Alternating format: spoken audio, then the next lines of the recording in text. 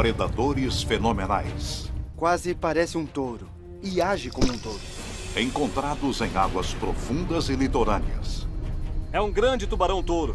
Achamos um. Agora, com o crescimento populacional, podemos encontrar essa poderosa criatura. Senti uma coisa agarrar a minha cabeça. Houve um aumento da quantidade de tubarões vistos em rios recentemente. E diante de uma cadeia alimentar ameaçada, É um tubarão-touro! É tubarão! cada vez mais eles nos encontrarão. O tubarão-touro está em um habitat cada vez menor. Então, onde e como tubarões e seres humanos vão se chocar? O grande desafio desta expedição é quando a ciência investiga um super predador em pesca radical, o temível tubarão de rio.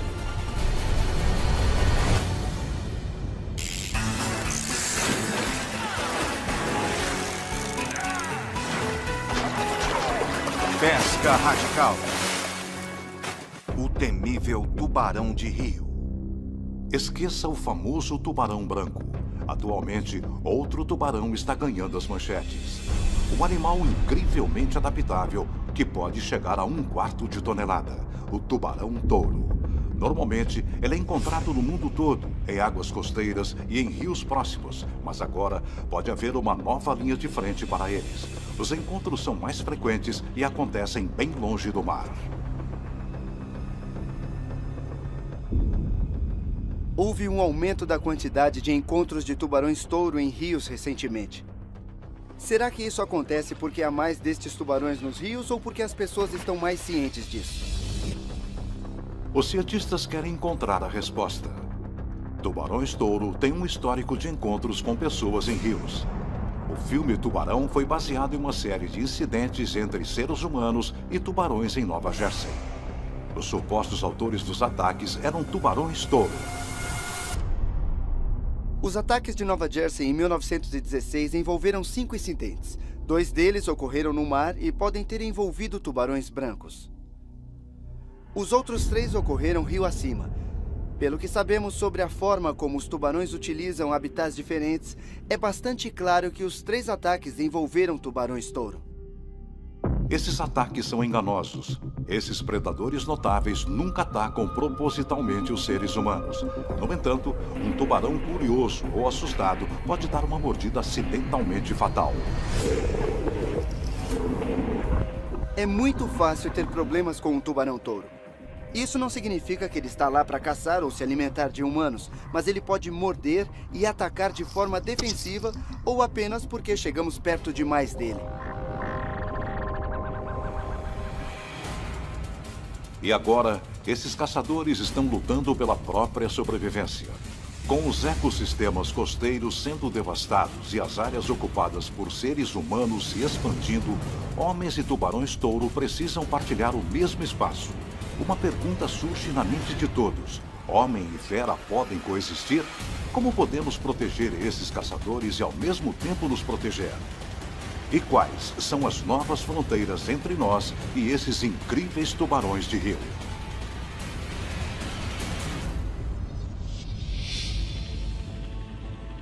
...2009... Rio Brisbane, Queensland, na Austrália. Esta pode ser uma das portas de entrada mais frequentadas pelos tubarões-touro. Por aqui, os tubarões entram no sistema fluvial de uma metrópole habitada por 2 milhões de pessoas. Pode ser um local densamente povoado. O grande número de encontros pode fazer de Brisbane um laboratório perfeito para entender o aumento na quantidade de incidentes entre tubarões e seres humanos. Mas os tubarões estão se aproximando de nós? Ou somos nós que estamos nos aproximando deles? Um homem está determinado a descobrir. O cientista sul-africano Ryan Johnson viajou milhares de quilômetros para localizar este peixe rio acima. Quer recolher amostras de DNA e analisar o comportamento do tubarão-touro em água doce. Vim estudar tubarões-touro para entender como e por que estão usando esses sistemas fluviais. Para navegar pelo rio, Ryan conta com a ajuda de um experiente capitão local. Além dele, a expedição contará com um dos pescadores mais famosos da Austrália, Paul Wasserlin. Oi, Paul, muito O prazer. prazer é meu. Como vai? Ótimo, agora que já viajou mais de 1.500 quilômetros, vou te ajudar a encontrar um tubarão-touro. Tomara que sim. Vamos lá. Ryan passou a vida estudando tubarões predadores. Mas esta missão pode ser uma das mais importantes de sua carreira. Relatos e encontros de tubarões-touro em água doce são cada vez mais comuns na imprensa australiana. Mas ninguém sabe ao certo até onde eles podem estar migrando, onde estão se estabelecendo, reproduzindo e se alimentando. Através da pesquisa genética, Ryan pretende descobrir como os tubarões estão usando os rios e por que estão sendo vistos por seres humanos. A invasão do território do tubarão-touro pelo homem pode ser apenas uma parte da história. De onde vêm as populações de tubarões-touro do rio Brisbane? Estão vindo de outro lugar? Ou há uma família de tubarões locais se multiplicando? Amostras de DNA podem fornecer pistas. A pesquisa genética em tubarões-touro é ótima. Pode nos dizer se os tubarões que estamos vendo aqui estão usando este sistema fluvial a vida toda. Com exceção de alguns relatos isolados, encontros com tubarões-touro normalmente ocorrem poucos quilômetros rio acima, num trecho em que a água é considerada salobra, uma mistura de águas salgada e doce. Fêmeas grávidas dão à luz nesse lugar e os filhotes nadam alguns quilômetros rio acima à medida que amadurecem. Mas há novos comportamentos do tubarão-touro. O estudo desses tubarões exclusivamente em água doce pode ser a próxima fronteira científica. Na minha opinião, eles são 100% de água doce. Parece que você tem um aparelho para testar isso. Vamos descobrir a verdade. Com um aparelho para testar a salinidade, Ryan procura um local com menos de 0,5 partes de sal por mil. Para esta missão, o objetivo é estudar tubarões encontrados apenas em água totalmente doce. Na mosca. Pode ver que é 100% água doce. Isso é incrível. Bom, parece que estamos no lugar certo para pegar uns tubarões-touro. Muito bom. Vamos lá. Ryan pretende tomar medidas vitais, observar o comportamento e recolher amostras de DNA de todos os tubarões-touro que capturar. Os dados fornecerão informações sobre a adaptação, a reprodução e a fisiologia dos tubarões. Tudo isso ajudará a compreender o único tubarão comum que pode viver em dois ambientes distintos. No sistema aquático há uma grande diferença entre água doce e água salgada. O estresse para os peixes é enorme e poucas espécies conseguem se adaptar aos dois ambientes. E de 400 espécies de tubarões, o tubarão-touro é o único que tomou esse caminho evolutivo, sendo capaz de sobreviver em água doce e também em água salgada. Isso o torna muito especial.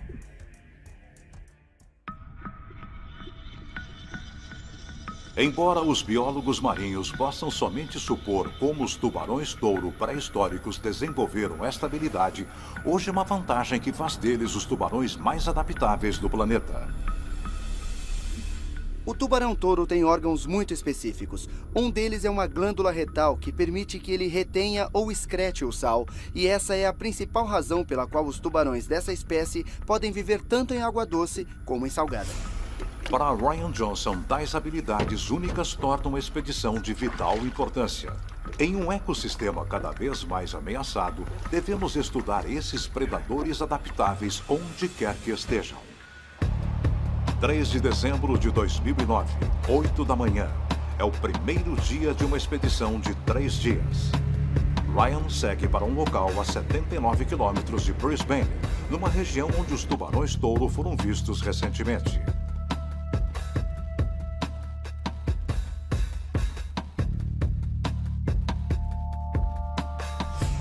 Os homens sobem o rio, afastando-se cada vez mais da foz.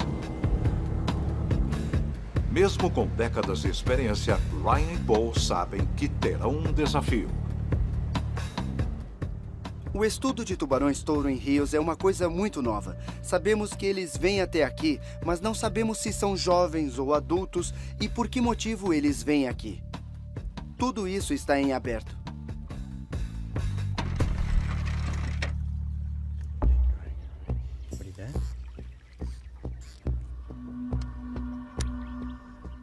Silêncio. Não quero assustar os tubarões. Lançou bem. Embora alguns pescadores usem redes, elas podem imobilizar os tubarões, provocando ferimentos ou até mesmo a morte. Para a expedição, Ryan acha que a vara é o método mais controlado para atrair e capturar em segurança qualquer animal de pesquisa. Isso me lembra a ilha de Emmett, Tubarão. No entanto, horas depois, nenhuma mordida. Temos uma pequena boia verde ali e ela não mexeu. Paciência, meu amigo, paciência. O que a gente faz quando só fica aqui esperando? Opa! De repente, uma fisgada. Muito bom. Devagar, devagar, puxe, puxe, até sentir o peso. Continue, continue, agora puxe. Ryan não imagina o que pegou. Ele espera que seja o tubarão-touro que deseja. Recolhe, recolhe, recolhe. É o peixe grande! Troca! Está sentindo? Puxa a vara, isso, isso. Muito bom! O líder da expedição, Ryan Johnson, luta com o que parece ser um tubarão-touro em água doce. Isso vai levar um bom tempo, cara. Precisa puxar. Esse é o peixe que está procurando. Pode segurar isso? Numa fração de segundo, Ryan consegue ver o animal na água. Isso. E então, a linha se solta.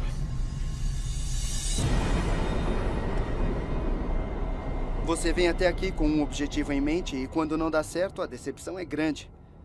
No momento, eu culpo a mim mesmo e só posso lamentar.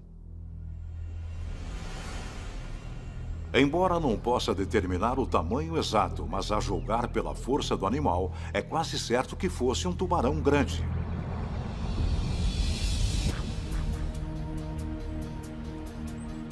O pesquisador espera que sua expedição esteja no caminho certo, seguindo um tubarão em seu lar de água doce, explorando a fronteira mais distante de encontros entre tubarões e humanos.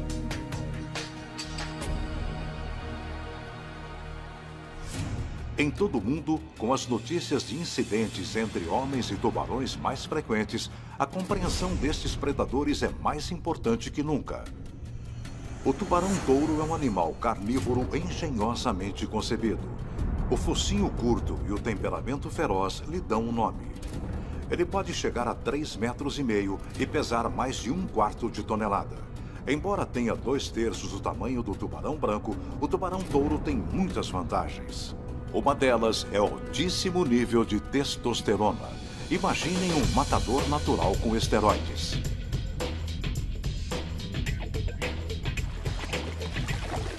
O tubarão-touro tem fama de ser um tubarão muito agressivo. E isso vem do fato de que entre todos os mamíferos e peixes, esse tubarão tem o maior nível de testosterona registrado. Nenhum peixe no mar tem mais testosterona por centímetro quadrado. Esse hormônio atua nos tubarões da mesma forma que nos seres humanos, aumentando a massa muscular, estimulando as glândulas adrenais e alimentando a agressividade. E o tubarão-touro tem outra arma natural.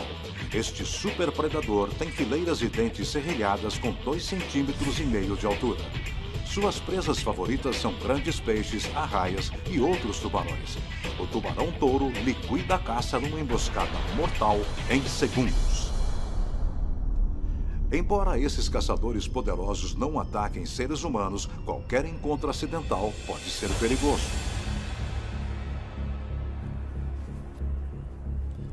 Lago Miami, na Austrália. Noite de 16 de dezembro de 2002. A pouco mais de 100 quilômetros do local de onde Ryan Johnson iniciou a expedição, o nadador Bo Martin, de 23 anos, disputa uma corrida com um amigo em um trecho do canal. Mas Bo não consegue chegar à margem, pois é puxado para baixo por um atacante oculto. Uma autópsia posterior conclui que a morte de Bo é resultado do ataque fatal de um tubarão. E em virtude da proximidade do território dos tubarões-touro, é provável que um deles tenha sido o agressor. Menos de dois meses depois, 8 de fevereiro de 2003. Burlick Waters, a poucos quilômetros do Lago Miami. A enfermeira Mary Gulliver passeia de caiaque no mesmo sistema de canais onde Paul Martin morreu. Ela vê um corpo mutilado boiando na água. A vítima de 84 anos é um residente local. Os ferimentos em sua perna correspondem à mordida de um tubarão-touro. O animal capaz de tais ferimentos provavelmente media cerca de 2 metros de comprimento. Os residentes são avisados para ficar fora da água, principalmente à noite e no início da manhã, quando os tubarões-touros são mais ativos. Mas há um problema. A exemplo do rio Brisbane, o sistema de canais da região está ligado ao mar aberto e inclui inúmeros lagos e mais de 300 quilômetros de vias fluviais. É grande demais para ser vigiado.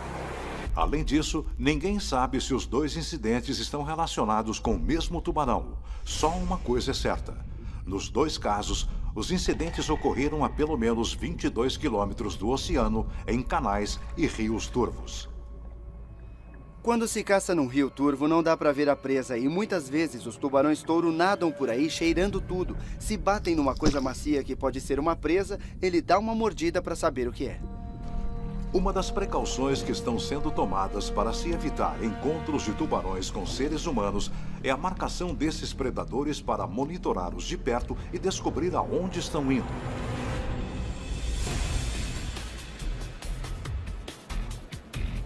A milhares de quilômetros de distância, em outro hemisfério, 6 de dezembro de 2008. Bimini, nas Bahamas. O biólogo de tubarões Grant Johnson e a namorada Kate Grudeck estão prestes a enfrentar os desafios e perigos da marcação de tubarões-touro. Não deixe cair ou o dia acabou. Trabalhando como voluntários para o laboratório de tubarões de Bimini, eles planejam capturar e marcar um tubarão-touro num estilo que ficou famoso devido ao filme Tubarão. O método consiste em prender a isca a uma corda com uma boia na ponta. Ela cria resistência na água quando puxada pelo tubarão e então, em seguida, basta perseguir e marcar o animal. As plaquetas numeradas ajudam os pesquisadores a colher dados sobre a migração e o comportamento do tubarão. Mas o processo de marcação é perigoso. Um aviso: não tente fazer isso sozinho. Na doca, os dois caçadores de tubarões jogam isca na água. Assim que o tubarão morde a isca, temos que subir no barco. Temos então que perseguir o tubarão, pois ele vai nadar com o anzol na boca. Mas as horas passam sem resultado.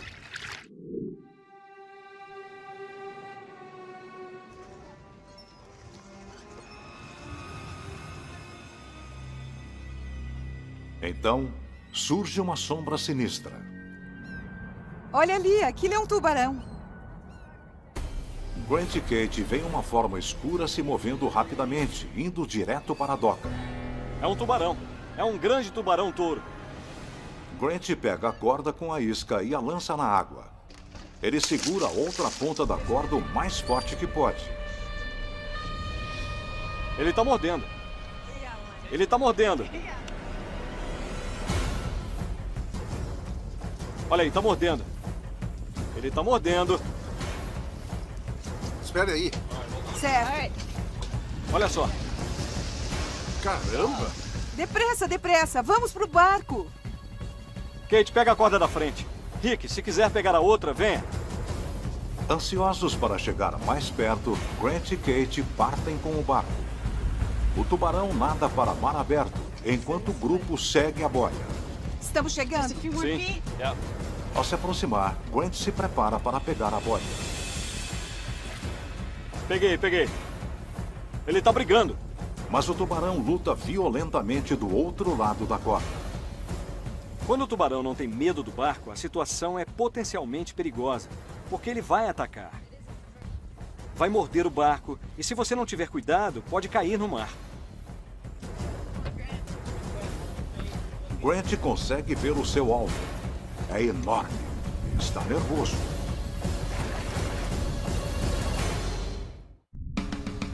Lutando ao máximo, Grant Johnson tenta manter a concentração na captura do tubarão-touro que se debate nas águas abaixo dele.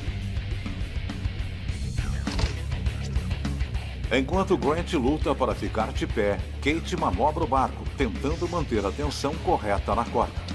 O tubarão mostra uma determinação impressionante. O tubarão-touro é um dos poucos animais que, quando se vê diante de uma ameaça, decide lutar em vez de fugir. Grant está exausto. Reunindo as forças, ele tenta mais uma vez ficar em vantagem. Com um puxão final, Grant consegue trazer o tubarão. O animal é ainda maior do que ele imaginava. Era como uma geladeira na água com as nadadeiras para fora. Tudo bem, vou tentar puxar para cá, você pega a cauda e vê se consegue passar esse laço nele. Tá bom. Quando trouxemos o tubarão para perto do barco, ele ficou meio louco. Quando ele viu a sombra do barco, a forma e o tamanho do barco, ficou nervoso e decidiu lutar. Enquanto a equipe segura o tubarão, Grant prende uma plaqueta na nadadeira dorsal do animal. Vamos marcar esse cara. Certo. O trabalho faz parte do programa de identificação de tubarões do laboratório de Pimini. Medindo o gigante, o biólogo faz cálculos rápidos. O tubarão já está bem reto. O tubarão que pegamos tinha cerca de 2 metros e 20 de comprimento. E não pesamos, mas acho que tinha cerca de 180 quilos. Mas o tempo é curto. Para sobreviver, o tubarão touro deve ser liberado e sem ferimentos. Queremos ter a certeza de que o tubarão vai ficar bem. Entramos na água com o animal e damos um empurrão para garantir que ele nade. A equipe guia o tubarão para o mar aberto. Missão cumprida. Através da marcação e soltura, os cientistas podem monitorar o comportamento e a migração do tubarão-touro, acompanhando esses animais adaptáveis aonde quer que vão.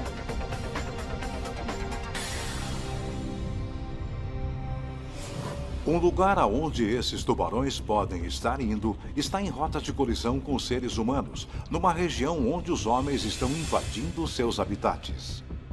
Na Austrália, a imprensa e especialistas do governo alertam os habitantes que desde 2002 ataques de tubarões em canais e rios estão aumentando.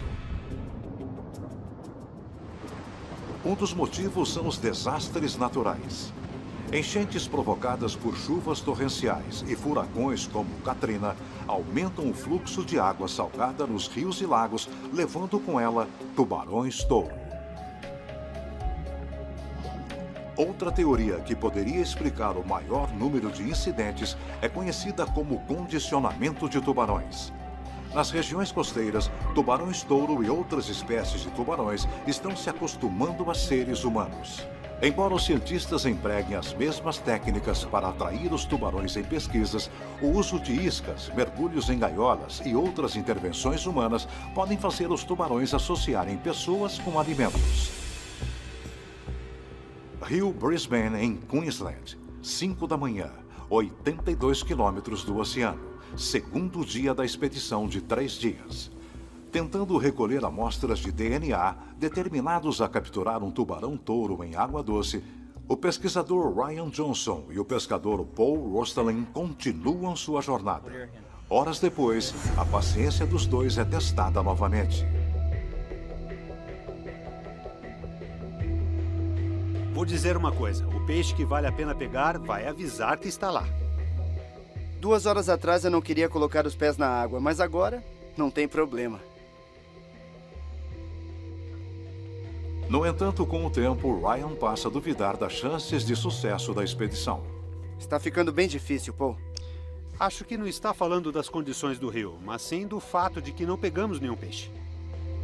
É frustrante saber que muita gente que não estava procurando tubarões-touro acidentalmente encontraram esses predadores em um local bem próximo de onde eles estão.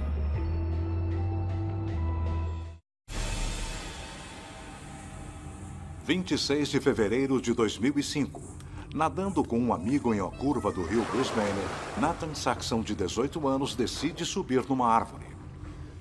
Quando estava subindo, eu pus a mão num galho e fui picado na cabeça por uma vespa. Para fugir da vespa, Nathan saltou na água, sem saber que ficaria diante de um perigo muito maior.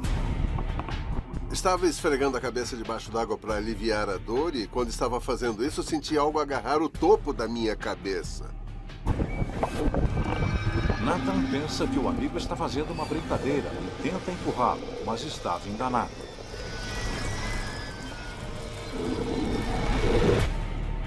Senti uma coisa se aproximar. Eu me virei, estiquei a mão e os meus dedos entraram na boca dele. Tinha dentes muito afiados. Cortou o meu dedo até o osso e não foi uma visão bonita. E tão rápido quanto chegou, o agressor foi embora. Em virtude do tamanho relativamente pequeno do ferimento, Nathan imagina que era um filhote de tubarão-touro. Ah,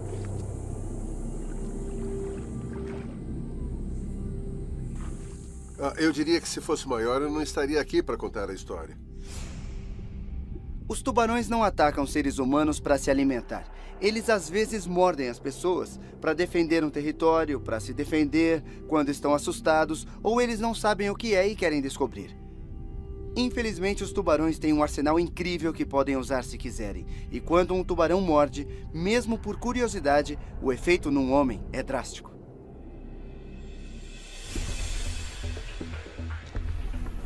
Agora, sabendo que o ataque a Nathan aconteceu perto de onde estão, Ryan e Paul vão ao local. Para aumentar as chances de sucesso, a dupla cria um novo plano. Para dividir e conquistar mais terreno, os dois partem em caiaques.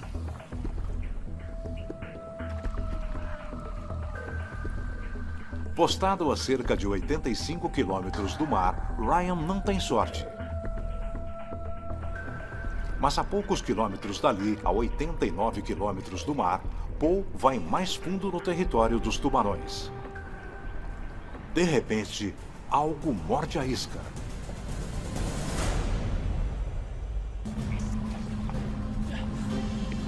Lutando para não perder o peixe, Paul faz força para controlar a vara.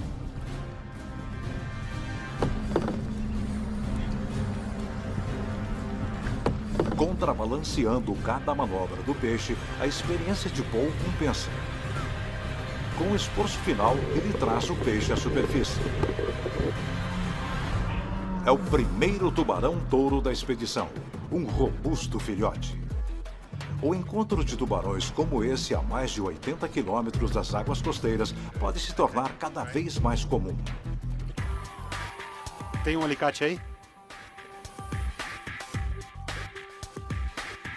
O tubarão tem pouco mais de um metro de comprimento. Com esse tamanho, é difícil imaginar que o tubarão-touro seja um grande predador. Mas esse tubarão atinge a maturidade em apenas 5 ou 6 anos. E onde há jovens crescendo, deve haver adultos por perto. Agora a equipe está ainda mais determinada a recolher amostras de DNA que poderão lançar uma luz sobre o comportamento do tubarão-touro, descobrindo esses predadores fantásticos onde quer que estejam.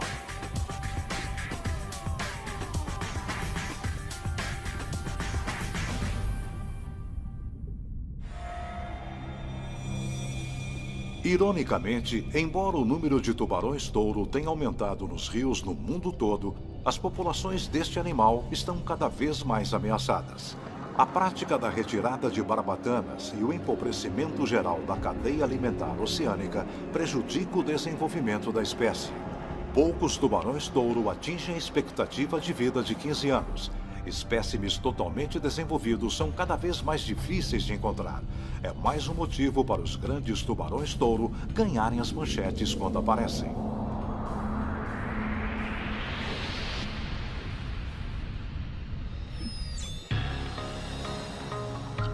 Aqui no rio Brisbane, na Austrália, uma história local revela uma realidade assustadora.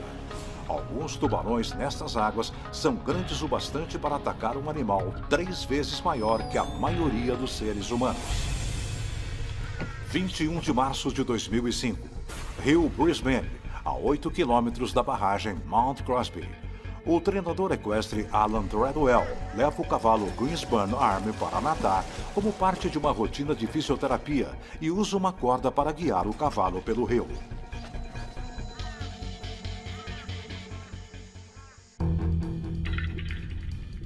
De repente, tanto o treinador quanto o cavalo sentem um impacto repentino vindo de baixo.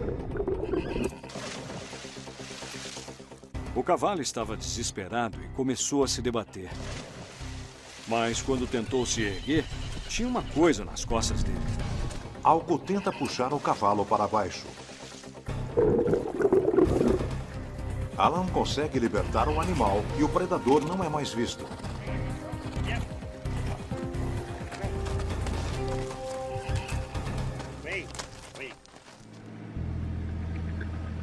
Após levar o cavalo a um veterinário, Alan mal pode acreditar no que descobre.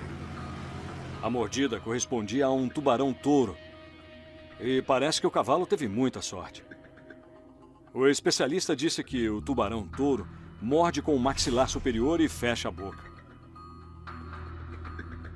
Ao examinar esta fotografia do ferimento e comparando com maxilares de tubarões-touro, um biólogo local estima que o tubarão poderia ter 2,70 metros e 70 de comprimento. Um grande oponente capaz de enfrentar um cavalo de 450 quilos. Na análise do incidente, dois elementos se destacam. O cavalo de Alan Treadwell foi atacado a 8 quilômetros de uma barragem. Embora em alguns locais grandes tubarões possam atravessar comportas usadas para passagem de navios, em Mount Crosby é diferente. A barragem é sólida. Especialistas afirmam que um pequeno tubarão poderia subir uma escada de cimento construída na barragem para permitir desovar rio acima. É possível que os tubarões-touro consigam subir alguns trechos de rios de águas rápidas porque estão presentes em rios com corredeiras mas são tubarões menores, de 75 a 80 centímetros de comprimento, e não os tubarões adultos de 2 metros e meio que vemos nos rios. Depois de passar pela escada, o pequeno tubarão poderia continuar crescendo além da barragem e se tornar o grande tubarão-touro encontrado em água doce a 97 quilômetros do oceano. Examinando os detalhes do ataque ao cavalo, o incidente levanta uma questão. Quantos tubarões mais existem lá e para onde irão a seguir? Após os ataques a Bo Martin, Nathan Saxon e ao cavalo de Alan Tardwell, perto de uma barragem do rio Brisbane, surge um retrato perturbador. Os incidentes mais frequentes com tubarões podem ser o resultado de nossa intervenção na natureza, incluindo as construções, a poluição e o crescimento populacional. Os seres humanos estão colocando barragens nos rios, poluindo os sistemas, e todas essas coisas têm um efeito sobre os tubarões-touro. O número de tubarões-touro vistos no rio Brisbane ganhou mais manchetes na última década do que qualquer um poderia imaginar. Uma das coisas que estamos descobrindo é que não só os recém-nascidos sobem aos rios, mas os tubarões maiores também.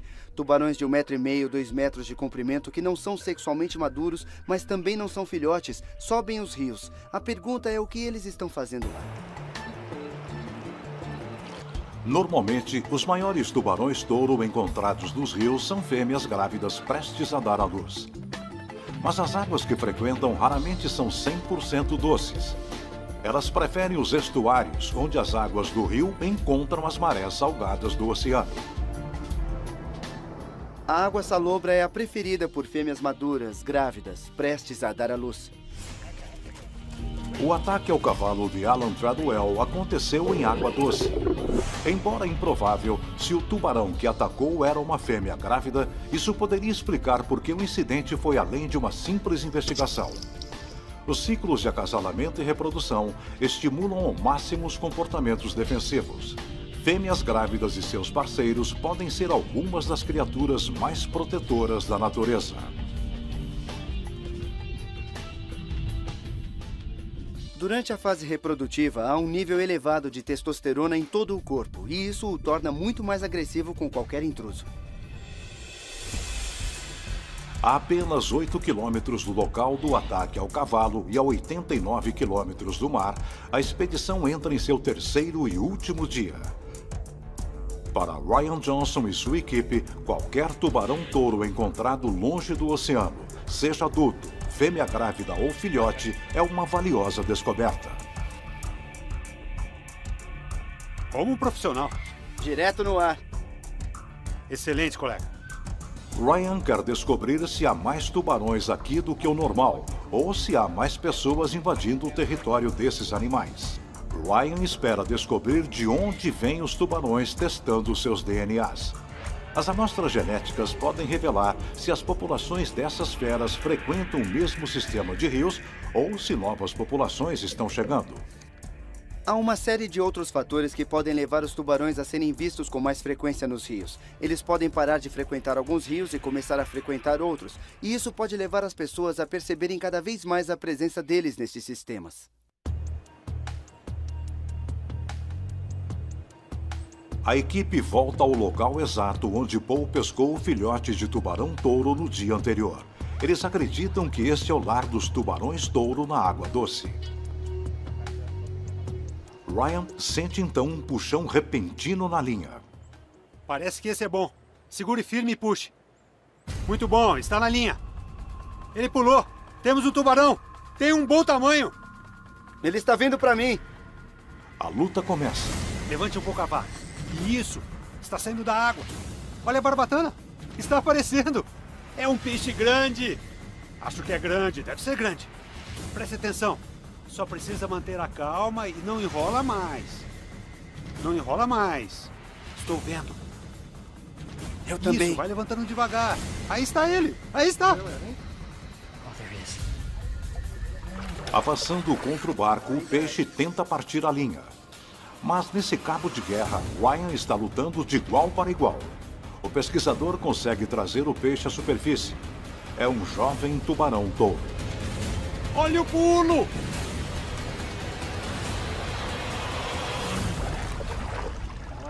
Muito bom. É um belo peixe. Quanto acha que ele pesa? É macho. É muito bonito. É verdade. A captura de outro tubarão jovem a mais de 80 quilômetros do mar oferece uma nova oportunidade para exames. Sensacional. Não é um peixe lindo? Para manter baixo o nível de estresse do tubarão, Ryan prepara um balde com água do rio e coloca um sedativo surpreendente, mas eficaz: óleo de cravo da Índia. Nos tubarões, um agente antisséptico presente no óleo chamado eugenol atua como um calmante natural e inofensivo. Ele fica bem calmo, não é? É. O sedativo impede que o tubarão excrete hormônios de estresse. Mas a análise de Ryan está apenas começando. Após alguns minutos no calmante, Ryan olha mais de perto e nota pequenas marcas. Ele foi atacado por parasitas, mas parece que eles penetraram na pele ou foram embora. Ele recolhe uma amostra da pele para levar ao laboratório. Vamos devolvê-lo ao rio. É preciso soltar o tubarão rapidamente para minimizar o tempo que ele passa fora d'água. Para garantir que ele volte em segurança ao rio, o tubarão deve ser guiado até o sedativo passar. Ele tem que ser movimentado, passar água pelas brânquias para tirar o óleo de cravo. Ryan quer apanhar outro tubarão para obter mais amostras. Cada tubarão é o número crítico a ser adicionado a uma linha crescente de avistamentos. Então, minutos depois, outra fisgada. Ele pegou. A não ser que venha para o barco. É, ele está vindo! Acho que não é um tubarão. O que, que nós temos aqui, hein? O que, que é isso? É um tubarão! É tubarão! Depois de três dias percorrendo o rio Brisbane, Ryan Johnson fisga outro predador. Ah, que beleza! É um pequeno tubarão touro. Vou levantar um pouco. O cientista confirmou. A 89 quilômetros do mar, o rio Brisbane está repleto de tubarões touro em crescimento. Depois de tirar o peixe d'água, Ryan age rapidamente. Essas coisas são feitas para serem resistentes e sólidas. É uma verdadeira bola de músculos. Segurando o tubarão, os homens examinam o pequeno predador de perto. Se olhar aqui no maxilar superior, ele tem pequenos dentes serrilhados, como no tubarão branco. Quando eles se alimentam, usam os dentes de baixo para prender a presa e os dentes de cima servem para serrar e arrancar pedaços de carne. Com isso, eles atacam presas pequenas e também presas grandes. 75 centímetros. Esse tubarão é quase um recém-nascido, não tem mais que um ou dois anos de idade. E é isso que esperamos. As mães vêm para o rio, dão a luz aqui, e em vez de nadar para o mar, os filhotes sobem o rio porque é muito mais seguro aqui do que seria no mar aberto. O fato de pegarmos todos esses filhotes significa que esse rio é um berçário. Mas também significa que pode haver uma ou duas grandes mães que estão dando à luz. Embora Ryan não esteja surpreso com a presença de tubarões jovens no rio, ele está surpreso com a quantidade deles. Um berçário repleto de filhotes, bem longe de qualquer estuário onde eles costumam nascer. E logo, há outro peixe na linha. Não force demais. Levante a vara. Solte um pouco. Solte. Isso. Ótimo. É um belo peixe. Isso! É um belo peixe! É um peixe robusto. Olha só. Olha. Ao examinar o tubarão, Ryan nota o órgão reprodutor masculino, uma característica distinta em todos os tubarões machos. Olha só, é um garoto. É mais um recém-nascido, não tem mais que 75 ou 80 centímetros. Ryan identifica fêmeas jovens também. Ele pretende recolher amostras de DNA do maior número de tubarões que puder. Só o DNA poderá revelar certos detalhes da presença de tubarões-touro no rio Brisbane. Eles farão parte de um novo fluxo migratório? Ou é a população costeira que está usando essa região do rio como berçário? Pode ser que daqui a 16 anos esses filhotes que nós pegamos voltem para gerar os próprios filhotes. Assim que soltam um peixe há pouco tempo até a próxima mordida. Esse é grande. Parece maior.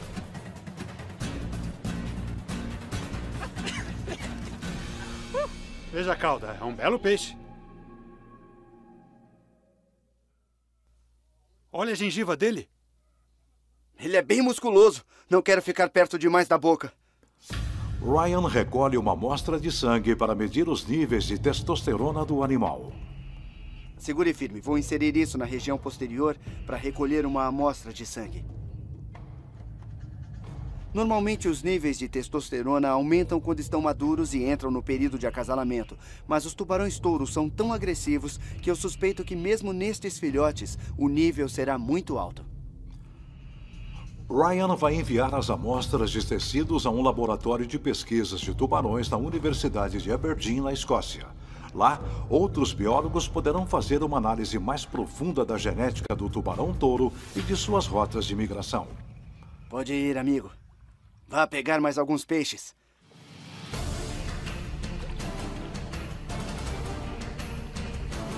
Parabéns, bela pescaria. Um bom trabalho. Após viajarem milhares de quilômetros até uma das linhas de frente mais ativas da migração do tubarão-touro em água doce, Ryan e Paul reuniram dados fundamentais. Há muitos anos ouço falar de tubarões-touro subindo os rios, mas é uma coisa mítica que nunca vemos. Por isso, vir aqui e ver com meus próprios olhos tubarões-touro mais de 50 quilômetros rio acima, em água doce, foi incrível. Eu acho que há tubarões grandes neste rio. Tivemos um peixe grande na linha. E entre as pessoas que conheço, tem pescadores que viram peixes de 200 quilos, o que me deixa animado. Aí está. E as provas do aumento de encontros de tubarões continuam se acumulando. Três semanas depois da expedição de Ryan Johnson, mais de 100 quilômetros ao norte do rio Brisbane, um pescador capturou um tubarão-touro adulto com 2,70 metros de comprimento no rio Lussa, a quase 15 quilômetros do mar. Essa captura é a mais recente de uma série de avistamentos de tubarões-touro adultos que foram notícia no mundo todo. Isso deixa totalmente claro que habitamos o mesmo planeta que estes caçadores incríveis, feras pré-históricas que estavam aqui muito antes de nós.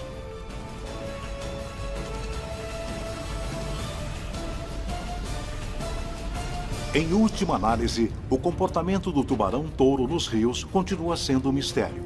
Mas uma coisa é clara: à medida em que seus ecossistemas são destruídos e nossas populações crescem, temos de encontrar maneiras de compartilhar um espaço comum. E enquanto nos esforçamos para compreender e proteger estes grandes predadores e ao mesmo tempo nos protegendo, temos de continuar explorando as fronteiras misteriosas do mais incrível tubarão de rio.